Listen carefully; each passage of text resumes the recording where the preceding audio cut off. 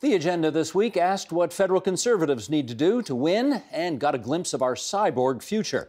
The agenda's week in review begins understanding the financialization of the housing market. But let's understand, Benjamin, a bit of how we got here. What role did low interest rates, historically low interest rates for the last many years, play in where we're at today?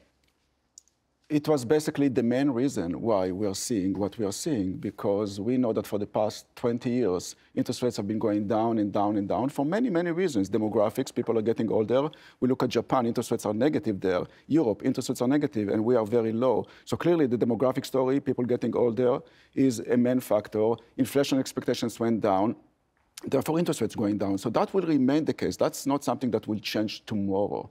And therefore, we have to get used to this kind of situation. Now, when interest rates are very low and all those big financial players are, play, are looking for return, and the GIC will not do, so what do you do? You look for alternative investment, which is real estate. So real, real, estate has been king over the past 20 years, and it will remain a very attractive investment given low interest rates. So that's how we got there. The demographic story and low interest rates is the main factor. Demand for real estate is rising and rising and rising, and especially in Canada where immigration is so significant in terms of playing a role in the demand equation. So all those forces are here to stay. Going back to the issue of rent, we have to distinguish between affordable housing and housing affordability. Affordable housing is clearly a market failure. People need a place to live, and the government needs to provide this kind of assistance. But I'm talking about some the other part of the equation, namely young families trying to buy a house in Toronto, they simply cannot afford it. And that's why I believe, and we can discuss it maybe, that the next wave of real estate in Toronto to an extent in Canada, is actually renting as opposed to owning. I think that at 70%, we have reached the peak of home ownership in Canada, and I think that you will see more and more people renting, and we will start changing the way we view renting. Namely, you are 35 years old, you are married, you have two kids, and you are renting, nothing is wrong with you. That's an okay scenario. That Martine, will be the case. Uh, yeah, I think lots of people are renting. I don't have any problem. I know that rent. We have a homeownership ideology in North America uh, that sometimes stigmatizes renters as not quite there yet in their in their housing housing uh, career. Uh, I disagree with that. I think renting is fine. However, um, we just see the prices going up and up and up. That $2,400 figure is so high, people can't afford that. And so, what we need, I mean, I agree with Benjamin. We need uh, more government investment in housing. We need rent controls. We need to make it so that people can afford to stay live in the city uh, where they work, raise their families in places that they love. Having said that, Sean, tell me what it is about whatever makes Toronto magic at the moment that it is such a supremely wonderful place, apparently, to invest in real estate. Well, if you look at housing prices, historically in Toronto, they've only declined one year in the past 22 years. Uh, so basically, you've seen almost uninterrupted growth in housing prices uh, for almost a full generation. And now we have uh, basically a generation of home buyers that have only seen the value of real estate rise and they've seen only record low interest rates. So it factors into their psyche that uh, investing in real estate is a, is a very you know, wise decision. Um, and now it's the fact that you know 70% of all household assets are actually in real estate.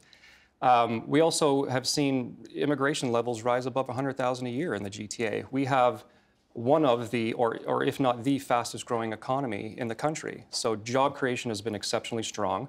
Uh, we see immigration coming in and boosting housing demand to the point that we're seeing uh, demand for rental housing at 20, 25,000 units a year.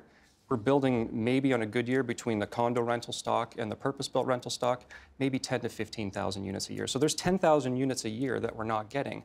So the rental development industry is starting to recognize this, and we're starting to see some progress made on supply. We have about 14 to 15,000 units under construction, which may sound like a lot, but there's 75,000 condos under construction. So it's still a very, very tiny portion of overall housing development.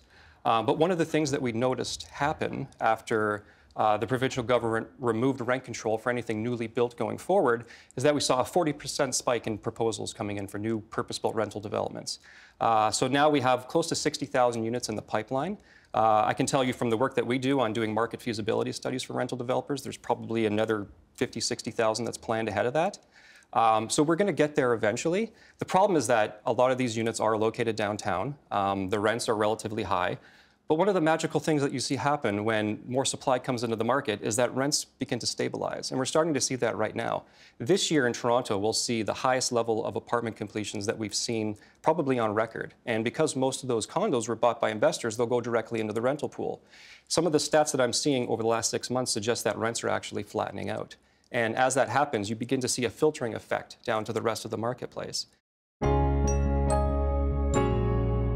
Uh, North American conservatism for the past half century or so has really been animated by what can be described as fusionism, uh, which is in effect an intellectual and political alliance between libertarians, those who um, place an emphasis on liberty, on the market economy, and traditional conservatives who place a greater emphasis on, um, on in some cases, religious values or traditional values or ultimately communitarianism. And the reason these two forces came together uh, in the middle of the 20th century was um, because they shared a common enemy uh, in the Soviet Union. Um, the Soviet Union communism represented a threat both to liberty and to traditional uh, a traditional point of view. And fusionism has, for all intents and purposes, been the underlying idea that's held conservatism together in the United States, uh, in the United Kingdom, and in Canada. Even if uh, our politicians don't talk in the in the language of fusionism, I think for a whole host of reasons, as Ginny says, the, um, the arrangement uh, of fusionism uh, is uh, uh started to show its wear. Uh, the end of the Cold War and a whole host of other factors, including the rise of globalization, um, increasing secularization in our society, and so on, has um, people on both sides of this arrangement asking themselves if it still makes sense, both as an intellectual and, and political framework. That is why there's so much turmoil in the world of conservatism these days. Do you think there is a generally agreed upon understanding of what it means to be a conservative in Canada at this point in the 21st century? No, I don't believe so. And I think the best example of that is that there are a lot of people who are conservative culturally, they have conservative values, they're religious people of various backgrounds uh, who do not see themselves in a conservative political party. Um, those to be a conservative and to be a big C political conservative are not the same thing. And I think that's actually a challenge the party should be taking on. Is why is it that if you look at polling data, if you look at uh, what, what priorities and issues animate a lot of Canadians, conservatives should actually have a broader reach than they actually do have. And I think that's because there are a lot of yeah. people who just don't see the Conservative Party as a, a vehicle for their own self interest, whether that's because of discrimination, past prejudice, or simply just an, an unwillingness to speak to people who might have a, come from into politics from a different angle uh, than what is assumed to be a Conservative Party member or conservative voter. Hmm. So that is a real concern concern that I have because all this, you know, thinking about ideas and reflection and all that, from my view, if it's all about dealing with the same people over and over mm. again, then I'm not interested in that, right? I mean, over a third of Canadians didn't even vote in last year's election. I want to know why. I want to know what those people think. And I want to know if the Conservative Party should have a unique value proposition for that population. But if it's just a matter of debating between these small circles of very, very few Canadians who actually vote in, uh, you know, for a leader of a political party, and then very few Canadians, in some parts of the country at least, who identify with the Conservative Party. If we're only worrying about what those folks are thinking, then I think it's you, you probably lost lot, the next election before it even starts. Garnet, are, uh, is there a reason why, in your view, there are Conservatives in this country who don't see a place for themselves in the current Conservative Party of Canada? So I think uh, Jamil's comments uh, really hit it out of the park on, on that issue. Um, let, us let, start by saying what, what does it mean to be a conservative? For, for me, a conservative value set believes in the importance of strong families, strong communities, and resilient individuals, uh, what David Cameron called the big society uh, as an alternative to uh, structural government oriented solutions in all aspects of our lives. But it's not limited government as an end in and of itself. It's it's resilient individuals, strong families, strong communities as the goal, uh, as an alternative uh, to, uh, to believing that changing the structure and the system will address uh, the problems that exist. Canada is a country, I believe, that is made up of, of a, a very diverse set of conservatives. You have conservative francophone Quebecers that want to preserve uh, their culture. Uh, you have uh, conservative uh, immigrant communities that want to uh, preserve the, the, the, values that, that animate their lives family, community, culture. Uh, you have conservative people in Western Canada who are particularly concerned about the identity and the economy of Western Canada. So the, the struggle for different kinds of conservatives who are who are attached to the particularities of their own cultures and traditions is to build a, a unifying uh, political party that includes all of those different uh, particulars. Uh, a sort of a fiscal conservatism um, that might have been popular, uh, frankly, when Paul Martin delivered it in the in the 1990s, is is just not um, something that we can take to voters. Along with the sort of Christmas tree of the ornaments that speak to all the different. Um, uh, groups within the party that Garnet talks about, um, cobbling that together is not enough to get to a win. Um, and it's not enough to speak to a conservative vision that people um, uh, can get behind in the way that Jamil's describing, trying to actually bring new people into the party who can feel at home. Yeah, some people do. They, they want to change the, the human body. They feel that you know, biological evolution is moving a little too slow. And if we're going to get to this magical future of where we all have jetpacks and we're flying around, we need these beginning steps now to know how our bodies incorporate technology long term.